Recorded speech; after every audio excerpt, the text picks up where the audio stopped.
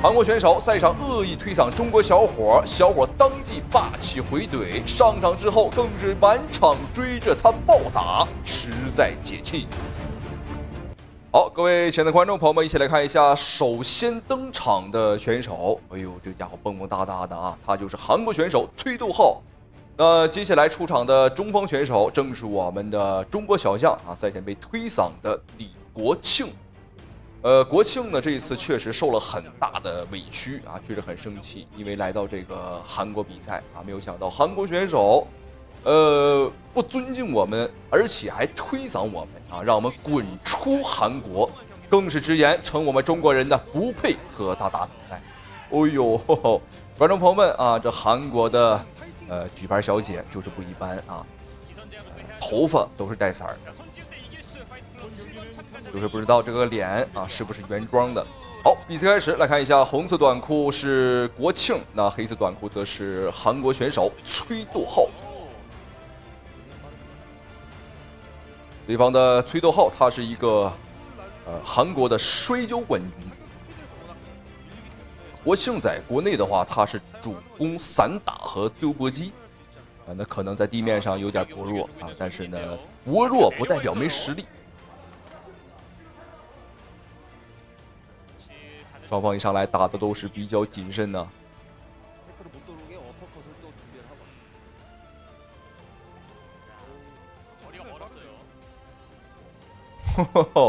观众朋友们，对方韩国选手，呃，他在干什么啊？呃，一抽一抽的，可能是在这个跳大神儿。哎呦，这拳打晃了。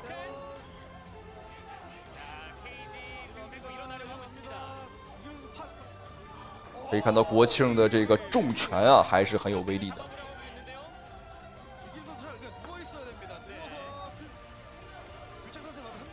韩国选手很赖皮，这个时候是拿到了一个上位的把位，但是他不敢砸拳。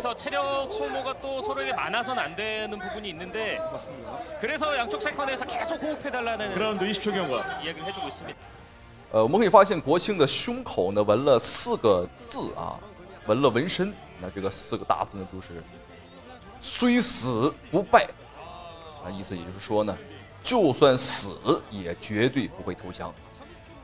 好，双方首先回到站立。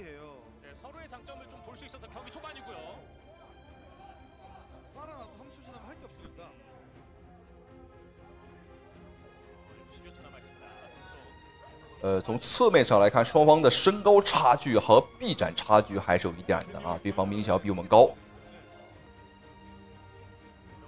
最后的一分钟时间，这场比赛我还是比较看好国庆啊，因为呢，呃，很多时候啊，我们中国选手如果在擂台上碰到韩国选手和日本选手，观众朋友们打的都挺狠的。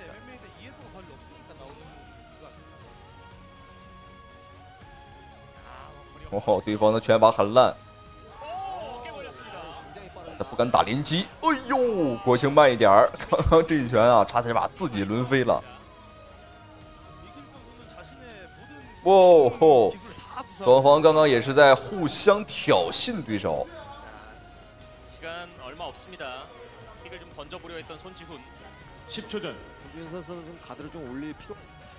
最后的十秒钟。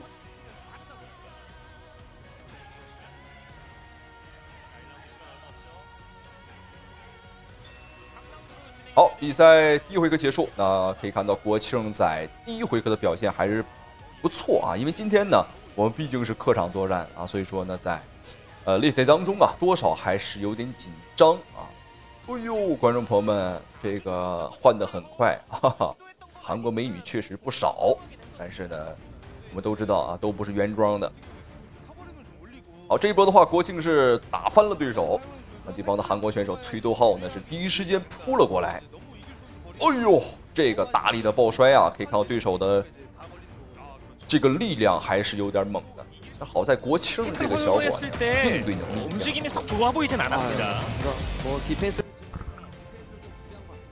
而且这个拳啊打的比较凶。나오기힘들어요요령이또있잖아요레슬러들만의또요령이있기때문에압박자체가달라요레슬러들의그압박이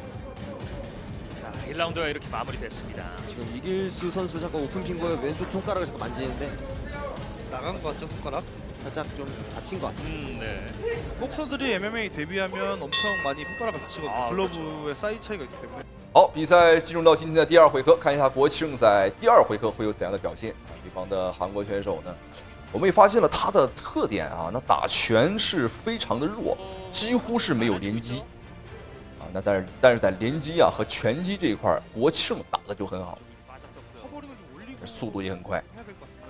계속 이제 어, 哎呦，你看看啊，最少两拳， 바꿔봤어, 손지훈. 아무래도 손지훈 선수가 왼손잡이기 때문에 혹시 이점이 더 많은데 이점을 살리지 못하고 있습니다. 자, 태클 시도.国庆稳住。 어, 자, 태클 다운. 성공. 다운. 对方的话是一个摔跤冠 이길 军啊， 선수 在地面 그냥 上还是 제가 要小 보기에는 心。 시간을 끌 것 같습니다. 음. 30초 동안. 교착 상태가 좀 이어지고 있습니다. 자, 근데 아까 태클 허용했을 때보다 좀더 여유가 생긴 이수 선수입니다. 다리 빼야죠, 이수 선수. 네. 다리 다리 다칠 수도 있습니다. 지. 자, 리키. 자, 밀어냈습니다. 홍준 선수는 이제 앞으로 나가야죠, 레슬러인데. 네.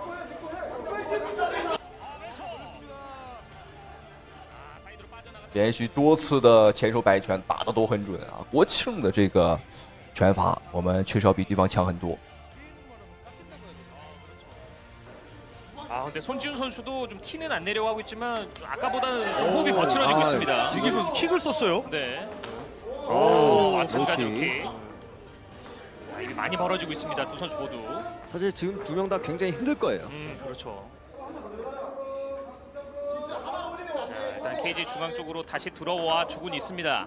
서로 무기가 강력한 게 있, 기 때문에 서로 이렇게 섣불하게 뭐 못 들어가고 있는 것 같아요. 아, 그렇죠. 네. 자, 어, 원거리에서 잽. 앞손. 자, 킥 뒤쪽으로 빠져주면서 哦，裁判是终止了比赛，那很明显了，是双方打的有点消极。我们还好，我们国庆呢打的是比较主动的，而对手却打的畏畏缩缩的啊。看看是不是要给黄牌？哦，蓝牌警告了，观众朋友们啊，打的消极。 呃，除了两次抱摔以外啊，这小子几乎是没打全。而我们国庆呢还是比较积极的啊。好，双方比赛继续，第二回合还剩一分钟的时间。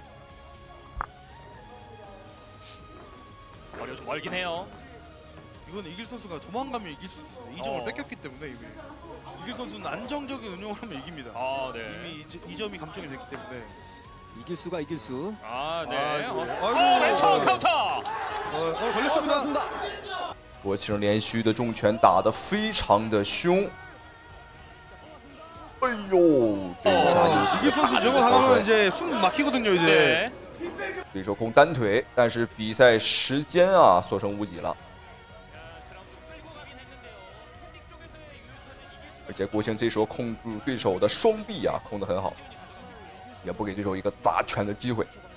능력을 많이 한 것 같아요. 탑 파이트 클럽 10초 때보다 확실히 그 뒷부분이나 뭔가 방어적인 기술이 좀 많이 익힌, 익힌 상태인 것 같습니다. 네. 파운딩도 못 치게 왼팔 딱 감고 그럼 이길 선수는 이제 점 好，哨声吹响，比赛第二回合已经结束啊！对方韩国选手，观众朋友们啊，已经是完全没有了赛前嚣张的那股劲儿。呃，这场比赛国庆赛拳法上的表现很出色啊，几乎是吊打对手。 大长腿，观众朋友们，哈哈，呃，推荐我们中国选手呢多多来韩国打比赛啊，确实能给我们观众朋友们啊这个一饱眼福。那当然啊，在国内肯定更好了。我们中国的美女，那绝对是要比这帮韩国棒子强。啊这毕竟吃泡菜，再美也美不到哪儿去。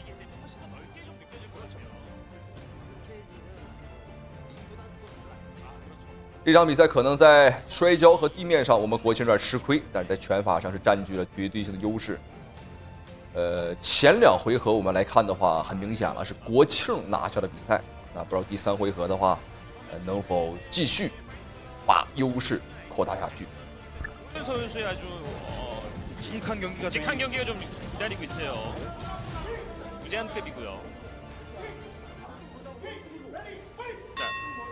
이길수 대 손지훈의 3라운드입니다. 마지막 경기. 마지막 라운드. 마지막 라운드입니다. 마지막 경기. 아, 마지막 아, 죄송합니다. 第三回合 너무 也是今天 아, 的 그렇다 경기에 또 재밌다. 最后一回合了。 자, 태클 시도. 对方韩国选手开始主动进攻了，他知道啊， 如果继续打下去，那这种消极的状态，那他获胜的可能性就是零了。那如果现在搏一搏，可能还有机会。毕竟在韩国打比赛，裁判的也是韩国人。断头台有没有？ 李国庆连续的中击，这时候被 어, 흐두고 조심. 네. 어, 스프로 수비를 해내는 이길수입니다. 자, 이길 하지만 선수 또 이제 버티겠죠. 对方的韩国选手，观众朋友们啊，比赛到现在不知道您查没查啊？反正我简单的查了一下，出拳次数啊不超过二十拳都不到。呃，这个比赛啊，被他玩成了摔跤比赛，而且还摔得不咋地。 네, 아예 이제 적극적으로 태클을 하겠다는 마인드를 갖고 있는 손지훈 선수입니다. 자, 사이드로 돌아주는 이길수. 이길 선수는 이제 이제 여기서 이제 마무리만 잘하면 이제 이기는 거의 경기거든요. 네. 아까 그 태클 나올 걸 예상해서 어퍼도 좀 많이 심어줬었던 이길수인데요. 자, 손지훈 입장은 흘러가는 시간이 좀 야속하게 느껴질 수 있습니다.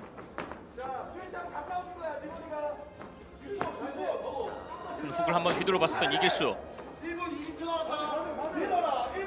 아, 손이 많이 내려가 있는 손지훈. 약간 좀 태클을 하면서 체력 소비를 많이 한 것 같습니다. 음. 아, 저!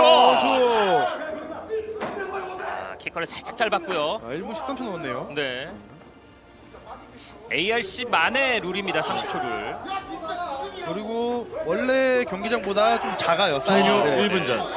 자, 로켓. 呃，比赛还剩最后的一分钟了，那国庆今天也是 체력이 빠지면 稳操胜券啊。如果说不出意外，那最后的五十秒 자, 뒤손 마저 뻗진 않았고요. 攻击，后手的精准打击还是很准。 손지훈 선수 원래 스타일이 가드를 안 올리고 하나요? 파이트 클럽 때도 그렇게 했습니다. 어, 네.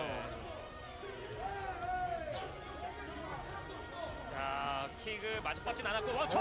两连击， 자, 뒤손 也是非常有质量。 있는데요, 원초. 最后的二十秒了，国庆看看起来还是想再拼一拼啊，看看能不能 KO 对手。 계속 노려주고 있는 이길수. 어, 유효타들이 나오기 시작합니다. 확실히 타격이 10초 전. 어우. 아, 사이드로 빠지네요. 쫓아가면서 왼손. 아, 시간이 얼마 없습니다. 혹시 타격의 영역에서는 이길 선수가 훨씬 잘하는 모습 보여주네요. 음, 네. 好，没有错，哨声吹响，比赛结束。那如果没有意外的话，应该是没意外了啊。这场比赛我们国庆应该是，应该是能够拿到最后比赛胜利。对方韩国选手一脸懊恼，贼眉鼠眼。这场比赛可以说是我见过韩国选手打的最烂的一场比赛了啊！原来韩国格斗竞技就这水平啊！说句实话啊，和我们中国呢，现在来看啊，相差了真是十万八千里都不止。好，让我们恭喜国庆。好，咱们下期视频。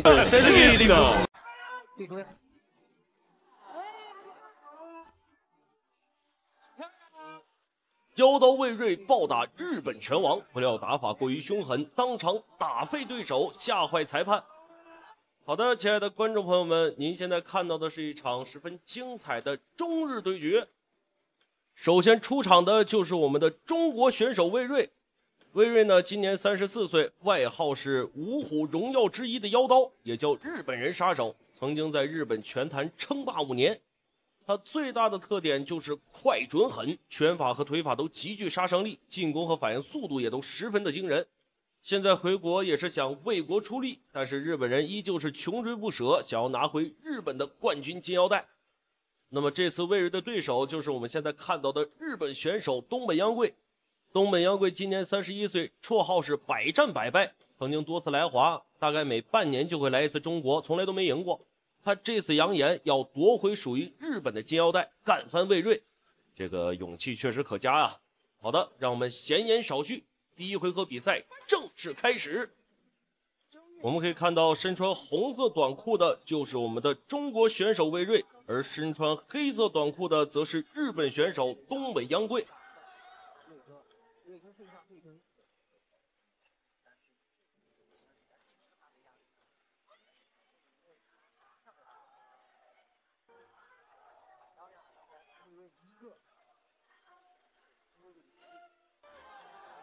我们可以看到，双方选手根本没有进行试探啊，直接进入了对战模式。我们这个魏瑞确实是快准狠，这一拳就把东北央贵打倒在地了。我们看一下东北央贵能不能站起来。啊，东本央贵站起来了，示意自己没有受到什么大伤。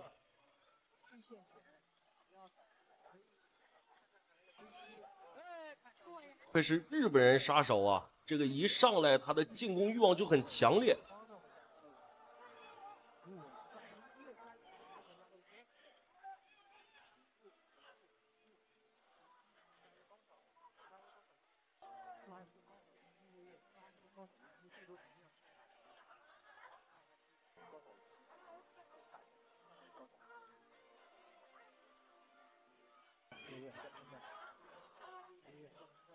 也不知道是不是因为魏锐的进攻挑衅啊，这个东北洋贵的进攻欲望也变强了。但是我们的魏锐并没有着急，反而是转为防守，寻找自己的战机。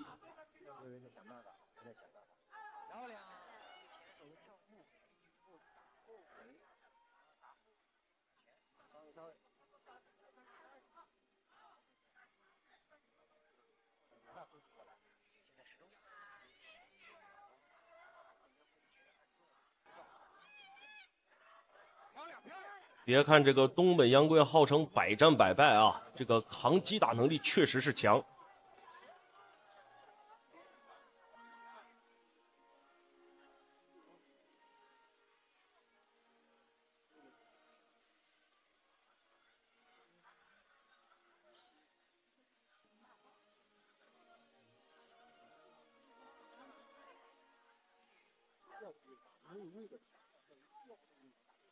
哎呦，魏瑞这个节奏抓的是非常好，直接让东北洋贵打到了蓝边。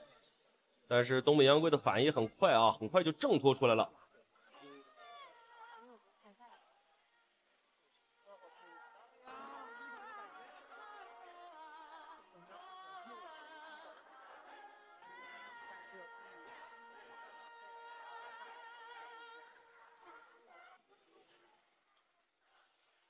好的，随着裁判一声敲铃，第一回合比赛结束，第二回合正式开始。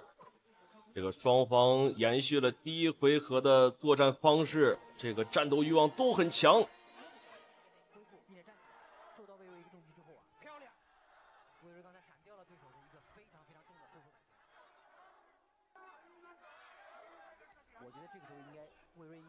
哎呦，这个东本洋贵的下盘不是很稳呐。其实我们可以看出来，在第一回合的时候，这个我们的魏锐体力保存的非常的好，相比之下，这个东北洋贵的体力消耗就很大了。应该可以在第二回合我们看出一些端倪来。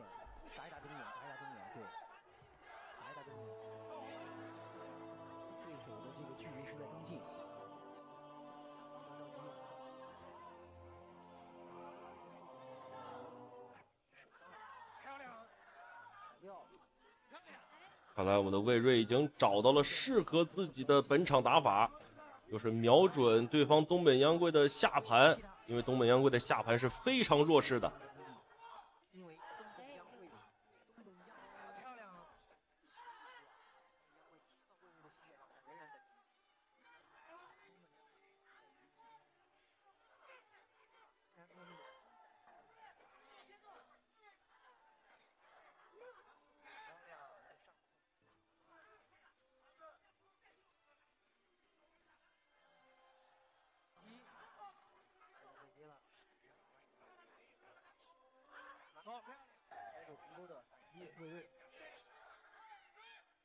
魏锐这种找节奏的打法让东本央贵非常难受啊！我们可以看出，东本央贵是一个非常喜欢大开大合那种打法的这种选手。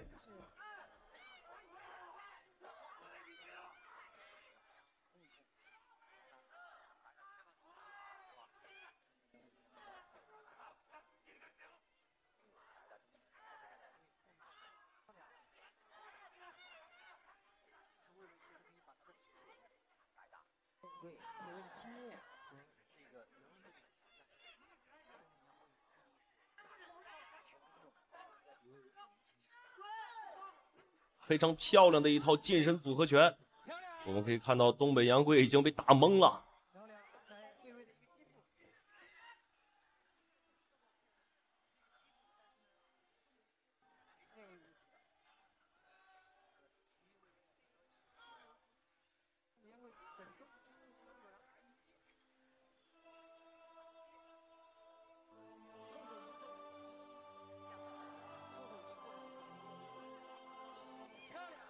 好的，第二回合比赛结束，第三回合精彩继续。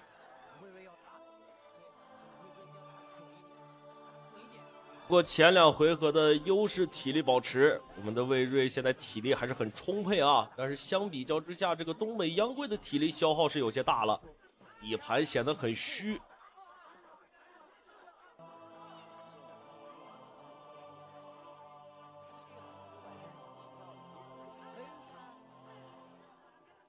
现在面对东北洋贵，我们的魏锐完全就是重攻击，持续的打击对手。我们可以看到，现在东北洋贵是非常非常的难受，比第二回合还要难受。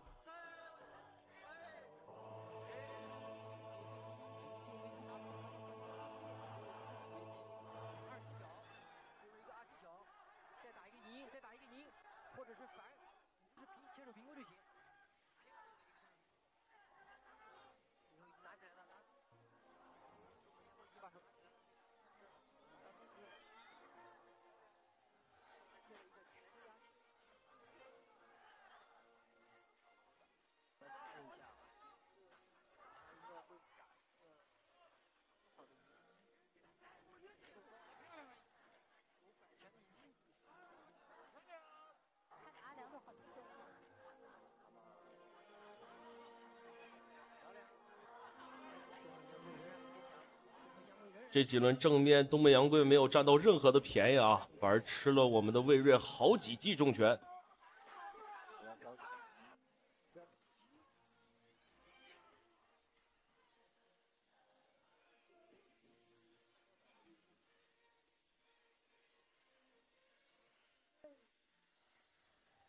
这个又是一个牵手，挺多的赢。再继续。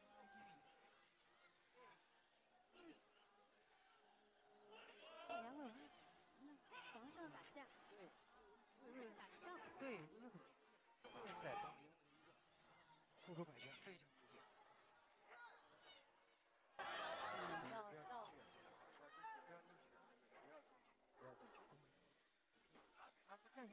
哎呦，非常快的一记重拳啊！我差点都没有看到，东北洋贵直接倒地了。我们看一下他还能不能站起来。哦，看来东北洋贵确实这个抗击打能力很强啊，又一次站起来了。但是这样的机会在之后可就不多了啊。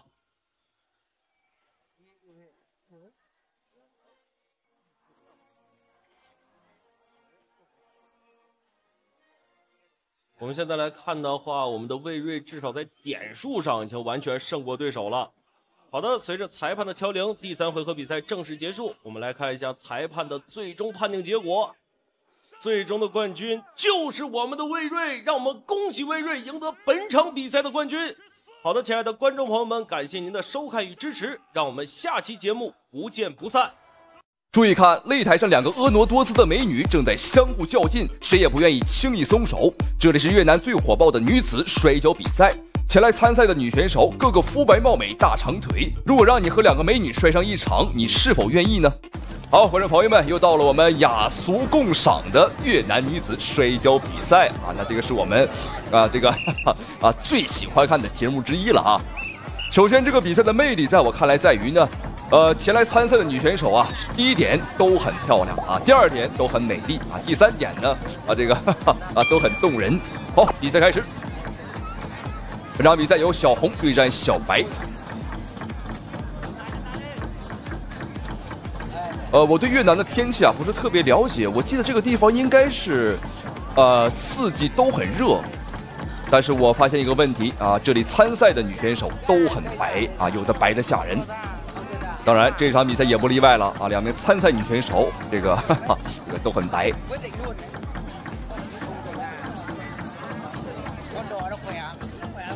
比赛规则非常简单啊，如果把其中一个人啊摔到双肩着地，直接判定获胜啊，其他的摔法都是加分呃，当然了，这都不重要啊，重要的是看两个美女这个相互博弈就可以了。今天的两个参赛美女啊，很明显她们都是非常的强大啊，哈哈，这个呃，我比较支持小红多一点。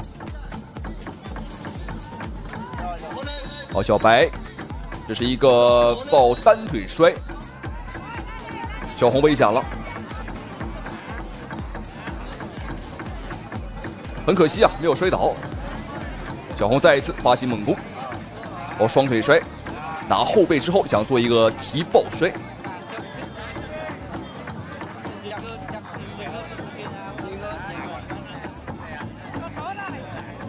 我非常建议我们国家呀，我觉得也可以举办这种活动啊。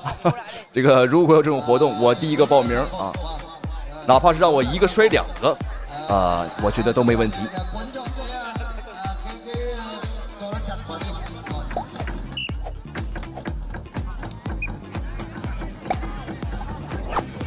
现在两位美女都没有得分啊。这个比赛我觉得非常费腰啊！我们看两个女选手呢，呃，摔跤比赛都是这样啊，必须先弯个腰，也蛮辛苦的。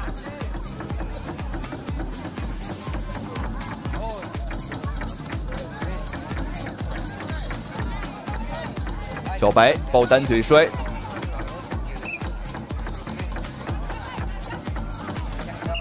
但是小红呢平衡性不错。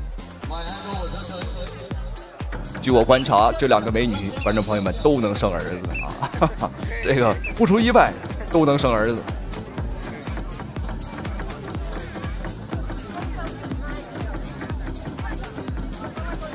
好，摄像机刚刚的还不错啊，摄像师加鸡腿儿。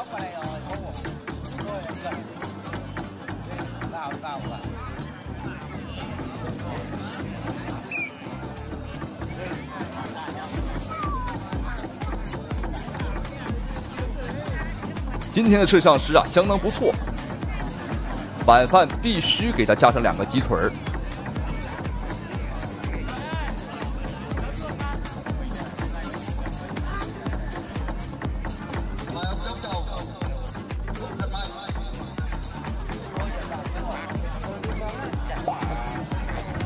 哦，这个裁判非常不讲究，赶紧躲开，我们不想看你撅个腚。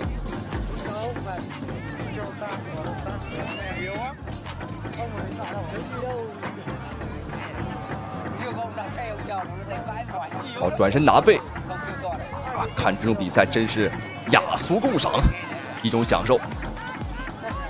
好，该截图截图啊！这个，哈哈，呃，别怪我没提醒各位啊。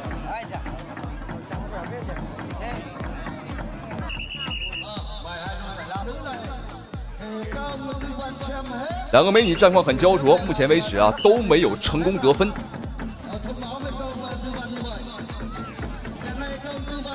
实力水平呢都差不多，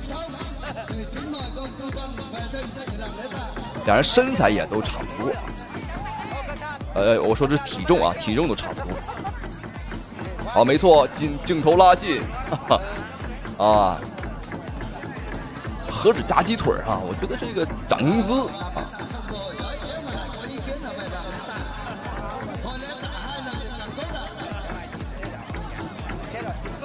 小红抱单腿摔，然后推出界外，推出界外啊，最低是加一分。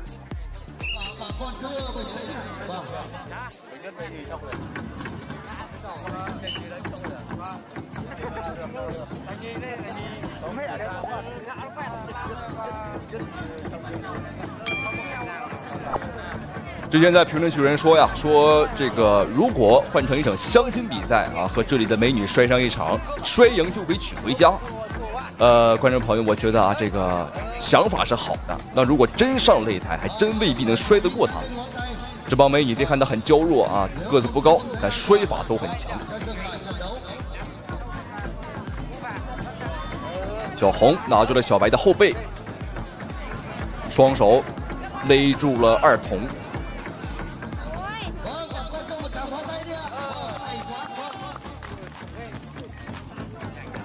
哎，这里是小红把小白又推出了界外，再加一分。但是现在分数啊都不高啊，需要领先八分才能获得胜利啊，或者像我们之前说的啊，把对方摔到双肩着地，呃，这个可不好摔啊。双肩着地的话是一个非常大的摔法，要把这个人呢给拎起来啊，或者给摔翻过去，总之没那么轻松。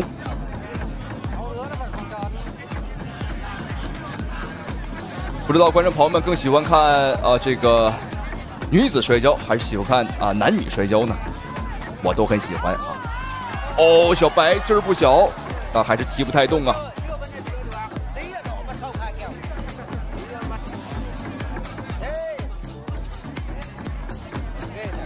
没错，摄像头非常精准。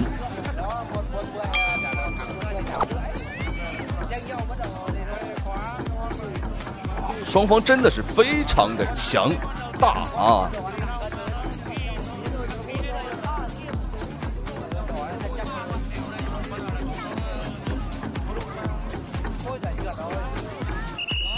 好，再一次退出界外，再加一分。现在小红呢是三分领先，但距离胜利还差五分啊！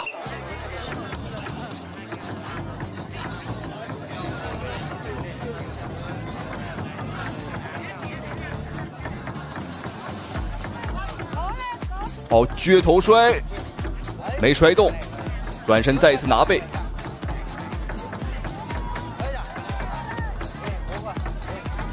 把小白想要提抱起来。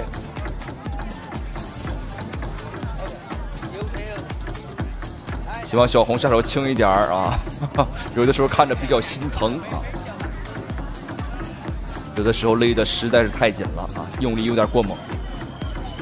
呃，女女选手之间啊，用劲儿都比较猛啊。换做男选手的话，一般会连哦，穿裆摔法。可能大家伙没有看清楚啊，小红一个穿裆摔法把小白摔到双肩着地，赢得了比赛。哇，这个力气非常的大啊！好，最终的结果，小红获得了比赛胜利，不负众望。好，比赛到此结束，咱们下期视频再见。张伟丽被老外打得鼻血不止，一怒之下连砸三十多手，当场打废对手，吓坏裁判。好，我们一起来看一下，首先登场的选手，他就是来自于巴西的拳坛悍将玛利亚桑托斯。呃，这个家伙这场比赛也是有备而来，杀气冲冲。好，接下来有请我们的中方选手张伟丽闪耀登场。这场比赛，张伟丽是东道主，我们是主场作战来迎战对方的玛利亚桑托斯。好，可以看到对方的玛利亚这个家伙赛前超重了啊，所以说被我们中方裁判扣掉一分呃，这也代表着这场比赛会更加精彩。为什么？因为你超重之后呢，扣掉的这一分很重要。那如果对方的玛利亚桑托斯和张伟丽打成了平手的话，那么最终的判罚肯定是张伟丽获胜啊，因为张伟丽呢是有着一分的优势啊，对手被扣掉了一分。那据说对方的玛利亚桑托斯很不服啊，他说我们中国的这个秤，观众朋友们。这个不准啊，为自己这个减重失败找借口啊，所以说扬言说今天要这个打废张伟丽啊，来报复我们中国。哎呦，对手这脑回路确实挺清晰的。好，比赛开始了。那今天的比赛是三回合的赛制，每回合五分钟的时间。对方赛前超重，比张伟丽呢重了一点七磅，大概是不到两斤。哦呦，对手的胳膊确实是长啊，要小心对手的这个换拳。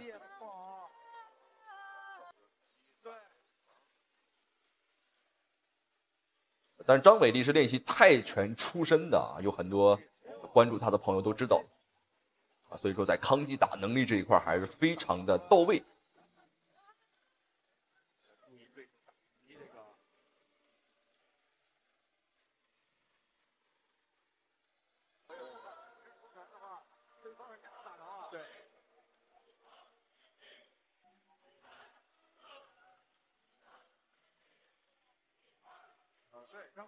对好，这个时候的张伟丽呢是保持一个八连胜的战绩，而且八场比赛，观众朋友们都是 KO 对手。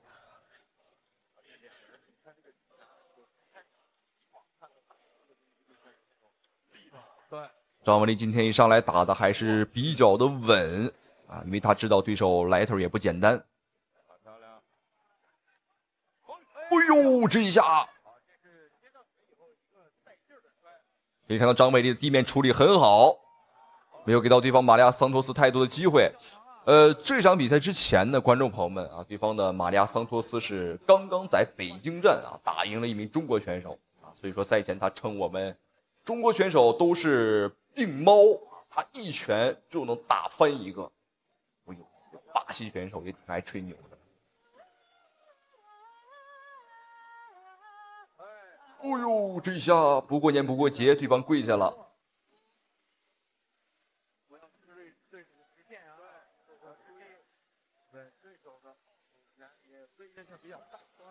张伟丽这时候还是用腿法去控制这个距离。我们有句俗话说得好啊，一推定三拳。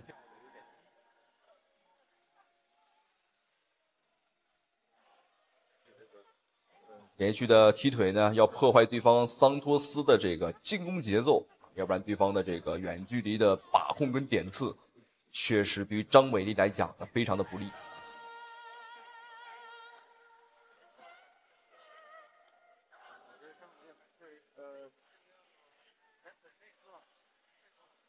况且这场比赛，张伟丽呢还要比对手少了一点七磅。男子比赛那那种味道啊，对，拿好防御啊，防御一定要拿好。出腿的时候啊，手要抬高，因为很可能对手会我硬吃你一脚，然后还你一拳。对，就打你这个迎击。对，你看，你看对方哦，你看，果然就这意识啊。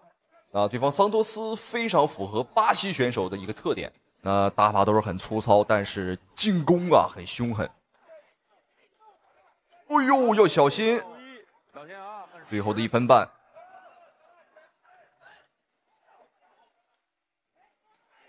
这手臂实在是太长了，对，让你在判断的时候就会有问题。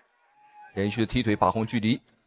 因为他在判断，呃，对手他还要想到自己的。张伟丽今天是很难得在站立上吃了亏。漂亮，哎，哎呦，这里张伟丽也是有点上头了，想和对手去拼拳。对方的头啊，被自己的肩防的不错。对，张伟丽不是，张伟站架还是不太一样。偏正面一对点。。哎呦，这个拳吃对手的身高臂长优势实在是太大了。最后的四十秒，哎呦，差一点。哦，这个拳真好啊！对啊，把自己这个身材的这种优势完全给打出来了。好，可以看到张伟丽的重拳呢很难去抓住对手。啊，张伟丽并不是说没有重拳，而今天呢是要面临的问题就是打中对手。对手也不和你拼，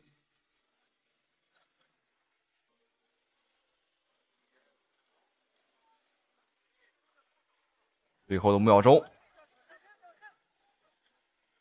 哦呦，这里真的是虎口脱险。哎呦，这个小这个时候确实是非常的惊险，因为张伟丽刚刚呢已经是很明显晃了啊，在比赛最后一刻。那这个我们平心而论呢，这个哨声啊确实帮助了张伟丽一把。比方桑托斯啊，刚刚有人往矿泉水往胸衣里边倒啊，这个啊可能是一种传统。这场比赛第一回合，张伟丽是打的比较艰难啊，对手呢身高臂长，包括体重呢都是有优势。我们张伟丽是身高一米六三，臂展幺六五，而对方的这个臂展呢达到了惊人的一点七六，那这个差距确实太大了。呃，当时张伟丽接对手挑战的原因啊，只有一个啊，就是因为对手呢侮辱我们中国人是病猫，忍不了。哎呦，观众朋友们可以看到今天的美女时刻啊，大眼睛双眼皮儿，还是非常不错的。好，接下来看一下我们第二回合的表现。那现场的这个裁判啊，呃，托马斯冯，那这个家伙的执裁判风格呢是非常的好看啊。双方选手只要不出人命，他轻易是不会叫停，所以说今天也不会例外。所以说你可以看到张伟多次被重击啊，他并没有叫停。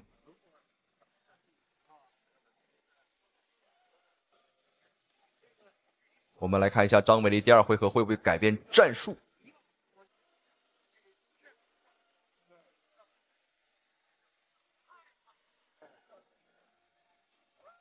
很想往里进啊，但是对手的把控确实是太远，而且张伟这边的鼻血已经被打出鼻血了。哦，近身拼拳，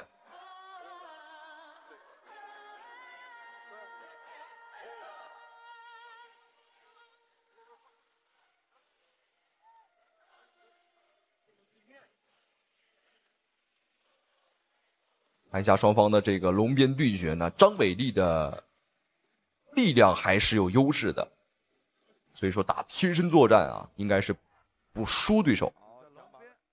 小心啊，小心。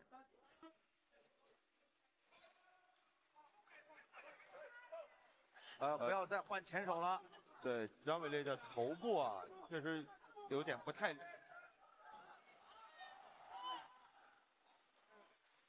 哦呦，这里直接将对手拖入到了地面啊！这属于生吃对手。对方喜欢把控距离，而张伟丽现在不给他距离，我们来近距离的接触。缠得很紧。对，啊，注意啊！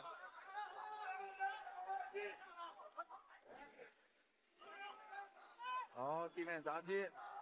对，呃，小剑三个字也有种啊。对方桑托斯虽然说来自于巴西，但是他的柔术很弱。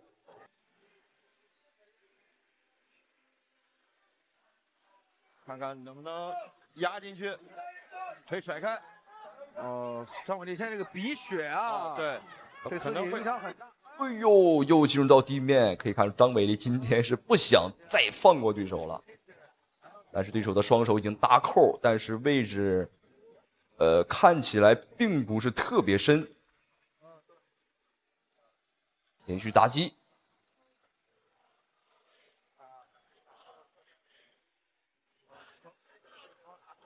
这位置夹的并不是很死。啊，对手的鼻血也被打出来了啊！但张伟丽的这个鼻血呀、哦呦，观众朋友们看着确实很心疼。哦，现在应该没问题了。对对压头，找机会抽腿。对，右右手。啊，肘击。啊，腿抽出来了。好，侧面。对，好，张伟丽终于是拿到了一个可以砸拳的位置，但是选择了砸肘。这的锤击。肘击砸击。啊，肘尖砸得很深啊。对手已经完全不反抗了，裁判还是不叫停。这个时候如果再砸下去，好，让我们恭喜张伟丽啊！如果再砸下去，观众朋友们，那就是只可能说呀，可能要殡仪馆的车可能要来了。好，这场比赛让我们恭喜张伟丽，今天也是完成了一个翻身仗，打了一场非常漂亮的翻身仗。那在第一回合呢，面对全面劣势的情况下，在第二回合呢，终于是抓住了一个机会。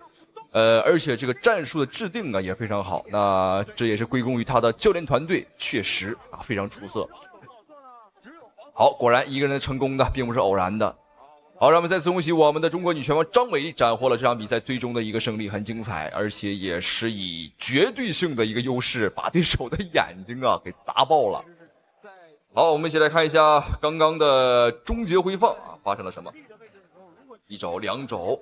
我的天哪！张美丽这个时候没有选择砸拳，因为他知道对手的防守很死，那打拳是打不进去的，所以说选择了砸手。哇哦，台下的观众已经看嗨了，啊，我相信屏幕前的您看的也很过瘾。好，让我们再次恭喜张美丽，同时也非常感谢屏幕前您的收看与支持。好了，咱们下期视频再见。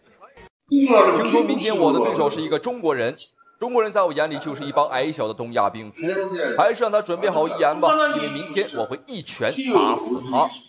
好，各位观众朋友们，您现在正在看到的是一场中韩大赛的发布会现场。哎呦，这个家伙要干什么？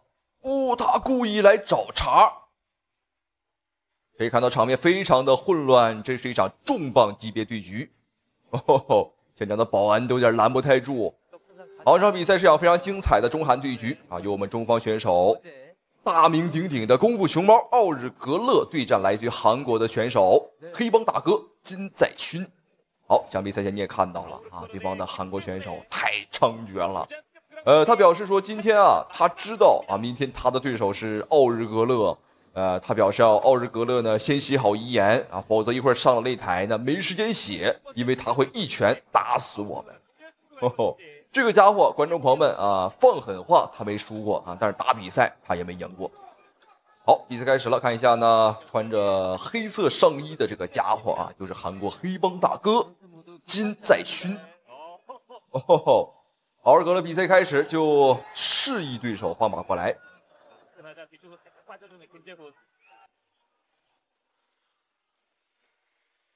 这是一场超重磅级别对局啊，也是被称为这个 稍有不慎啊，就会被一拳打到魂飞魄散的级别。确实啊，因为你看奥日格勒啊，三百斤将近四百斤的体型，对方想摔。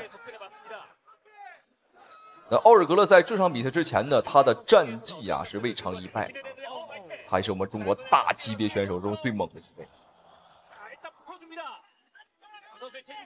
这个金在勋难道是疯了吗？他竟然，呃，想压制奥日格勒。这个角度我们就很明显了啊！虽然说双方呢长得都很壮，但是放在一块儿，观众老爷，哈哈，这个明显奥日格勒的肚子啊，也就比较大很多。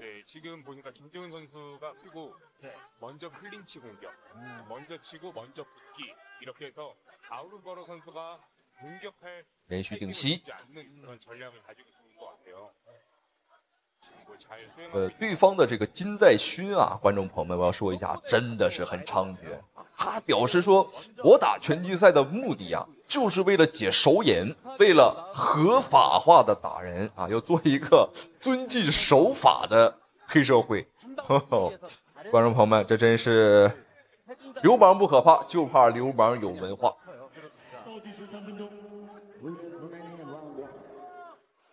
奥尔格勒一上来还是比较稳的。虽然说比对手壮啊，但是没有贸然去进攻。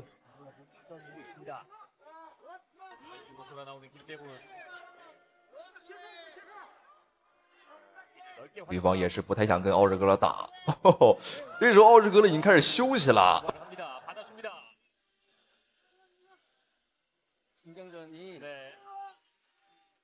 本局比赛三回合的赛制，每回合五分钟的时间。奥尔格勒的拳并不是很准，但是观众朋友们，我们只需要打中一拳就可以了。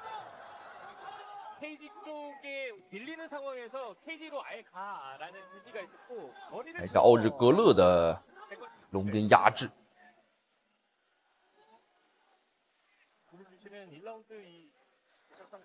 呃，要说一下这场比赛的举办地点呢，在韩国的首都啊首尔。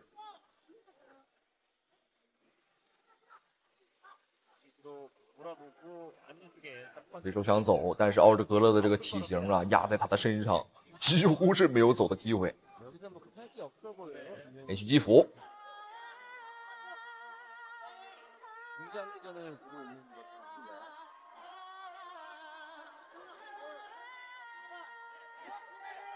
斧。奥日格勒的这个肚子啊，这一走路来，观众朋友们都在颤抖。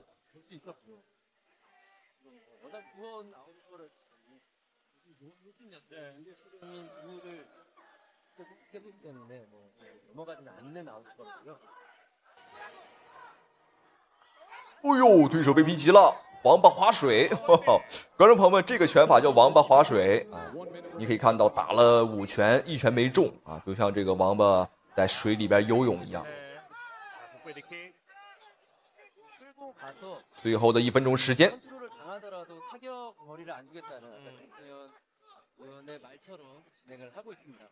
连续的击斧，这个角度对奥尔格勒来讲呢，呃，他的重拳啊发挥不出来，但是这个打击频率还是非常够用。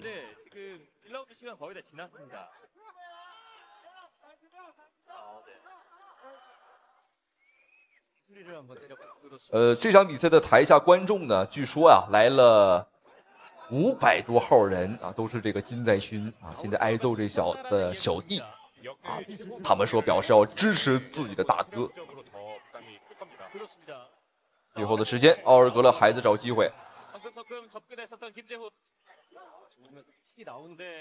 还是需要热身。奥尔格勒第一回合的表现呢，打的并不是特别激进，很稳。那对方的金在勋啊，这个家伙也不再翘二郎腿了啊，也不再这个推搡啊和嚣张了。呃，原本啊在赛前嚣张的观众朋友们，原因是因为身边有人啊，他知道有人会拦住他，所以说他很嚣张。然而到了擂台之后啊，等真章的时候，这个家伙却怂的啊，确实像一条丧家犬一般。好，稍作休息，看一下奥日格勒在热身完毕之后呢，比赛的第二回合会有怎样的一个精彩的表现。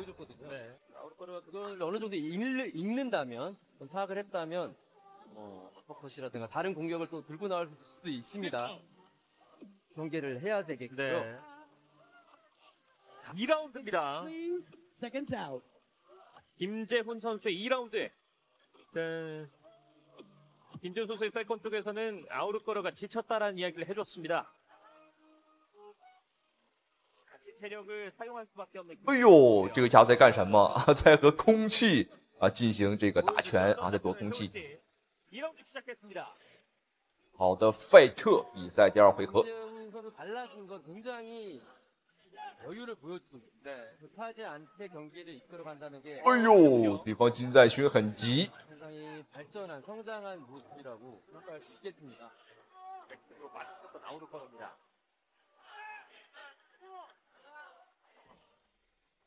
자, 미드킥. 你别看奥尔格勒胖啊，但是奥尔格勒非常的灵活，他是个灵活的胖子。 주고 빠져주는 김재훈. 좀 끌어들이는 걸까요? 네. 자, 오버핸드 훅은 잘 통하진 않았었습니다. 各位观众朋友们，您认为奥日格勒今天会在第二回合 KO 对手吗？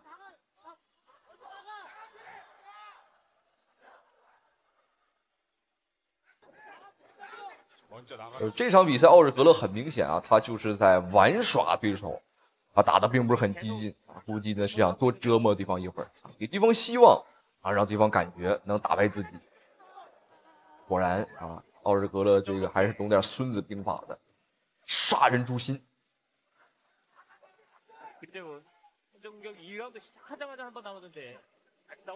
哎呦这里奥日格勒看准机会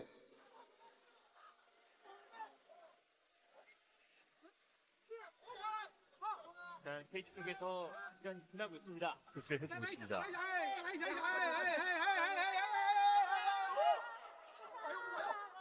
아우르코르의 집중력이 좀 떨어질 때를 노리는 것 같거든요. 네, 맞.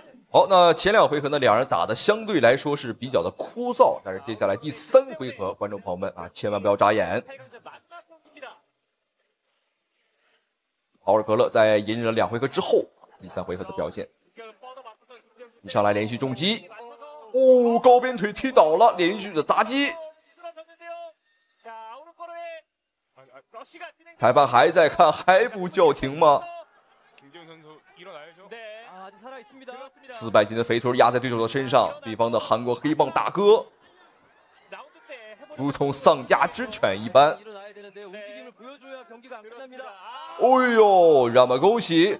我们今天的中方选手奥日格勒进行了三回合的苦战，最终呢也是凭借彪悍的铁拳啊，我们不玩了。呃，这场比赛呃到底打多久啊？这完全看奥日格勒的心情啊，他想打一回合就是一回合，想两回合就两回合啊，测试我们的实力。只有真正的强者才可以主控比赛啊！那观众朋友们，您觉得我这句话说的没问题吧？好，这场比赛的话，奥尔格勒在和对方韩国选手的对拼当中呢，虽然说前两回合打的相对来说比较保守，啊，那当然了，那常在河边走，呃，还是要小心，不要湿了鞋。好，这场比赛，对方的韩国黑帮大哥也不狂了，二郎腿也不翘了，他也不再嚣张了啊！我们的功夫熊猫奥日格勒狠狠的给他上了一课。哦，这小胖奥日格勒确实也是累个够呛啊！好，这场比赛，让我们再次恭喜奥日格勒啊！那让我们一起来看一下双方精彩回放。这波应该是先打了一个顶膝，这一下站不太稳了。哦最终是一脚踢倒。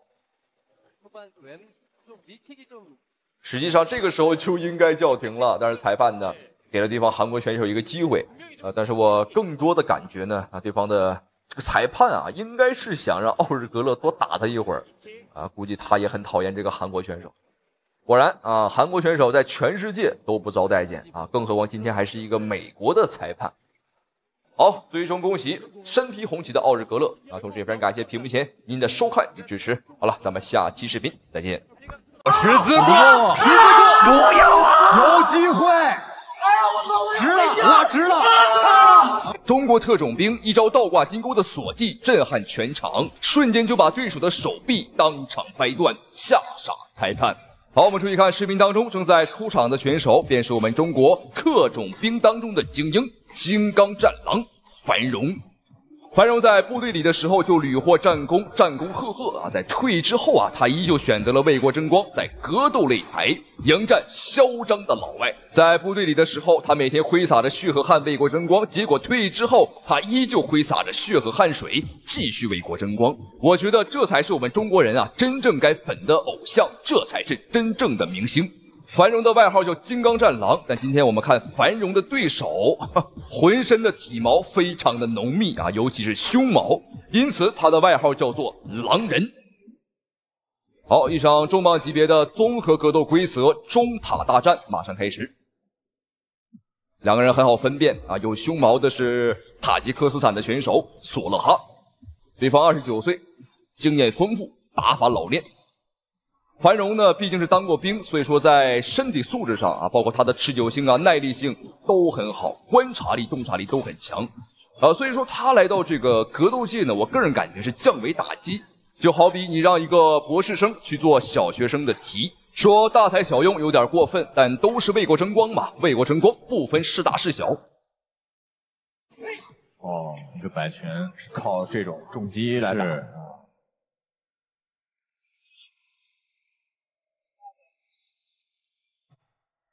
樊荣最近应该是增强自己的这个站立技术。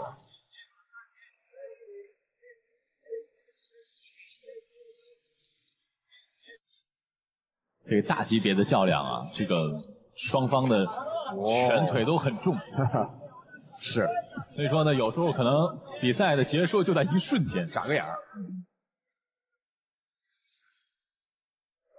这个垫步顶膝，对于自己的膝盖长度。计比较乐观了。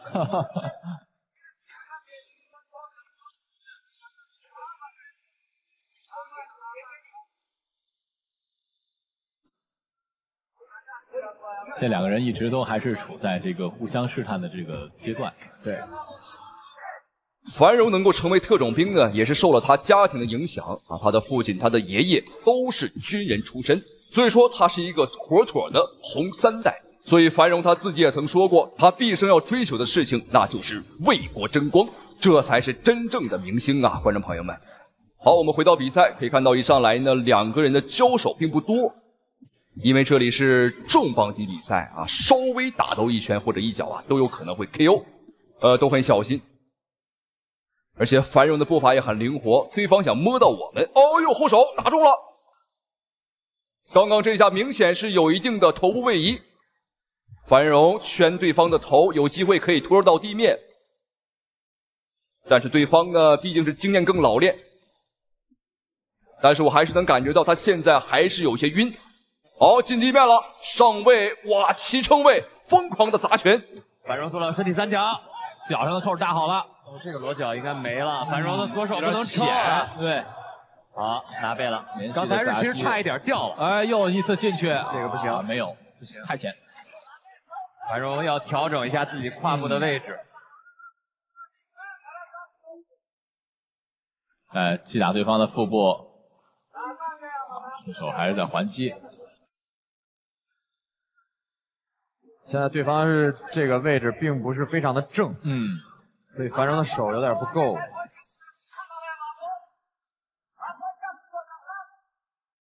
啊，樊荣已经把胯调整过来了，我觉得可以找机会了，有机会。胯还需要往自己的左上侧再移一点。我直接升药了，直接升药了，直接来呀！打好这个扣了吗？我们看看，没有，没有没有打好。现在樊荣所展现的一些招式啊，都是在部队里学到的杀人技，呃，但他并没有用全力，比如说掰对方的脖子，他没有用寸劲儿。如果一个寸劲儿的话，可以把对方的脑袋当场拧断。但当然了，这里是综合格斗，这里不是修罗场啊，这不可以动杀手的。呃，裸脚到什么程度对方算输呢？裸脚到对方受不了啊，对方拍手投降，我们就算赢了。但很显然，这个索勒哈他的经验很丰富，虽然说处于劣势位置，但防守还是非常到位。因为毕竟这里是第一回合，体能还是很充沛。如果现在是第二回合，对方就很难受了。再说应该是往自己的一侧去倒。如果对方把体重放在你身上是不容易的啊！骑乘要骑乘，被对方翻了，被翻了，踢开，哇！地面砸拳，我刚才那个地面砸拳，我感觉一身冷汗啊！真是啊差半寸。好，现在双方的比赛来到第二个回合，我们注意看，哇，左边选手先发制人，没错，他就是特种兵繁荣。现在红色裤衩处于上位的便是塔吉克斯坦选手索勒哈，对方不仅是体毛浓密，他的抗击打能力啊也的确是有点恐怖，整个体重砸到对方身上，还好也就是繁荣这身板。繁荣现在想做手臂吗？小心。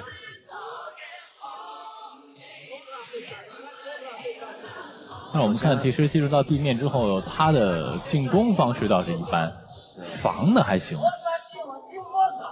繁荣回到开放防守，我们看要怎么做？要做下劈吗？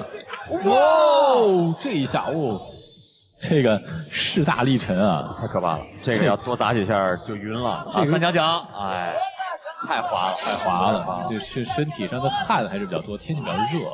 那刚才那下想起了谁嘛？想起了《隋唐演义》里程咬金的三板斧头一招劈脑袋。对，这一场比赛繁荣的确是有点危险了啊！虽然说他的身体硬件非常的不错，呃，但他毕竟是刚打综合格斗，刚打拳击啊，所以说对比赛规则呀、比赛节奏都不是太熟悉。而且据说在这一场比赛之前，繁荣仅训练了两周的时间，就草草的来参加比赛了。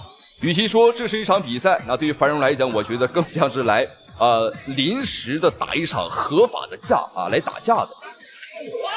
我又一拳，做腿了，做腿了，站起来就有机会了。刚才蹲在地上是没机会的。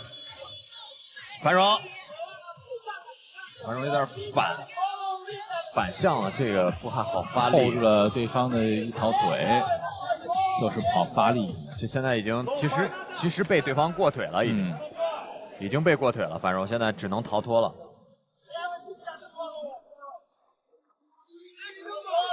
来过来，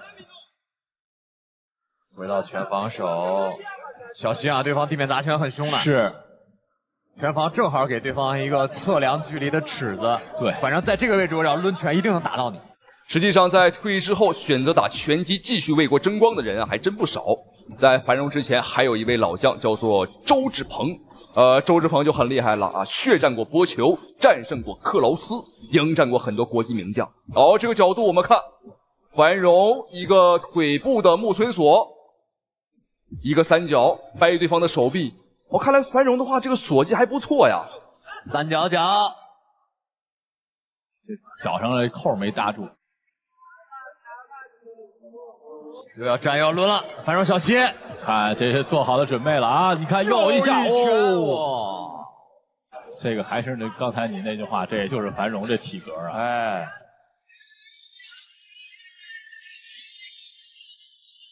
哦，又要蓄力了，是繁荣小心！哦，哦，还好还好，还那 是一个佯佯装蓄力。对对对对，这个大大量的时间在被对方压制。对，蝴蝶扫没成功，十字过，十字过，十字过，有机会，直了，拉直了，拍了，哦！哇，观众朋友们，这是一个压哨的终结，因为比赛马上结束哦，而且还是一个难度系数非常高的倒挂金钩手臂十字固。我觉得这招恐怕啊是有柔术高手或者像繁荣这种身体条件非常好的人才能做得出来，太不可思议了。好，让我们恭喜这位我们中国的英雄特种兵繁荣获得胜利，简直太不可思议了啊！好，同时十分感谢屏幕前您的收看与支持，咱们下期视频再见。